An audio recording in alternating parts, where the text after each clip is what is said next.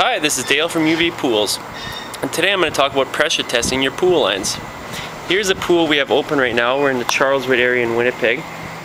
And what we do is when we remove all pool liners and install new ones is part of the process is pressure testing uh, items such as your pool jets as well as the skimmer and the main drain at the bottom of your pool.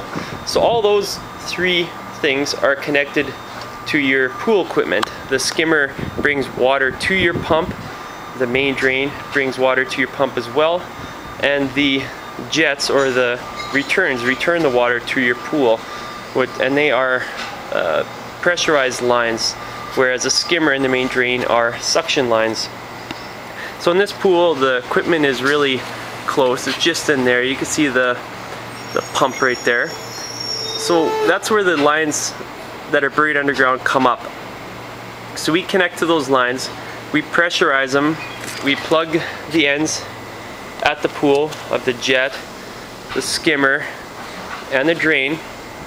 We pressurize them and leave them for a certain period of time and we see if the pressure drops and if they lose pressure. If they don't, all is well.